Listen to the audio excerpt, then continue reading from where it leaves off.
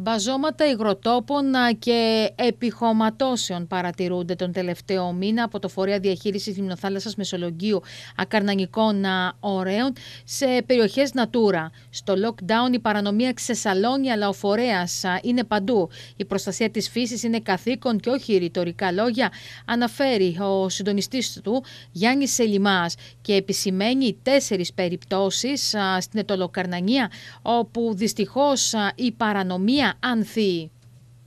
Ε, το διάστημα αυτό, ε, δυστυχώς, ενώ έχουμε lockdown και μια φοβερή έξαρση της πανδημίας, συμβαίνουν πάρα πολλές περιβαλλοντικές παρανομίες στις περιοχές Natura και ειδικότερα στο Εθνικό Πάρκο Λιμνοθάλασσας Μεσολογγίου Ιτωλικού. Ενώ θα έπρεπε κανονικά το περιβάλλον να αποτελεί πρώτη προτεραιότητα και των ε, δημάρχων και των περιφερειαρχών αλλά και των ίδιων των πολιτών. Διανύουμε την εβδομάδα ε, της διαχείρισης των αποβλήτων, την Ευρωπαϊκή Εβδομάδα Διαχείρισης των Αποβλήτων.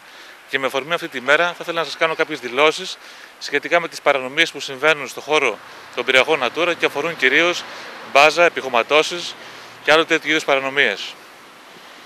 Το τελευταίο διάστημα, το τελευταίο μήνα, ο φορέας διαχείρισης έχει διαπιστώσει σειρά παρανομιών που έχουν να κάνουν με υποβάθμιση της βιοποικιλότητας και των οικοτόπων. Μία από αυτές είναι στην περιοχή Βαλτή, κοντά στο όρος Καλιχίτσα, όπου εκεί κάποιος ιδιώτης αποφάσισε από μόνος του, χωρίς αδειοδοτήσεις, χωρίς τίποτε, να μπαζώσει μια περιοχή για να διανοίξει δρόμο σε περιοχή φύσης του Εθνικού Πάρκου και περιοχή Natura. Μια περιοχή με σπάνια πουλιά υδρόβια αλλά και βίδρες.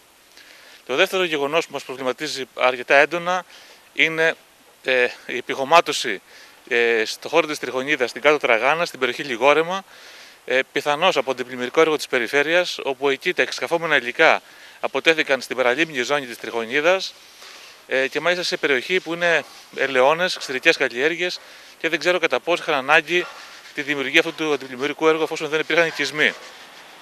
Στην περιοχή αυτή έχει δημιουργηθεί μια επιχωμάτωση τεσσάρων στρεμμάτων και ένας νέος χώρος ανεξάρτητης διάθεσης απορριμμάτων αφού υπήρξε και κοπή αρκετών δέντρων ε, στους οικότοπους εκεί που βρίσκονται, που είναι κυρίως καλαμιώνες, ευτροφικές λίμνες και ε, παραλίμνια λιβάδια με υψηλές πόες.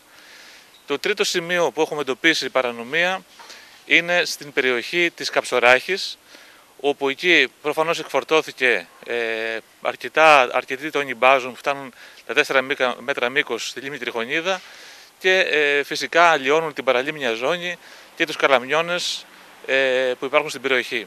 Και το τέταρτο σημείο είναι ένα αρκετά μεγάλο σημείο στην περιοχή της Αγίας Τριάδας, στη βυτική πλευρά της Λιμνοθάλασσα, στην περιοχή Χόχλια, όπου εκεί έχουμε αρκετούς χιλιάδες τόνους απορριμμάτων. Ένας χώρος ανεξάρτητης διάθεσης απορριμμάτων, ο οποίος βρίσκεται κοντά στην ε, ε, Λιμνοθάλασσα Μεσολογίου, σε περιοχή που υπάρχουν υδρόβια πουλιά και καταστρέφονται οι οικολογικοί θόκοι. Ε, για όλα αυτά που σας είπα, ο φορέας διαχείρισης Λιμνοθάλασσα Μεσολογίου Ακρανικών Ωραίων έχει κάνει ήδη έγγραφα προς τις δημοτικές αρχές, την περιφέρεια, τη Διεύθυνση Περιβάλλοντος και Υδροοικονομία, την Κτηματική Εταιρεία του Δημοσίου και την Αστυνομική Αρχή των περιοχών, διότι προσπαθούμε να μειώσουμε τόσο την υποβάθμιση των περιοχών Natura, όσο και την υποβάθμιση των άγριων ε, ειδών ζωής που διαβιούν στις περιοχές αυτές.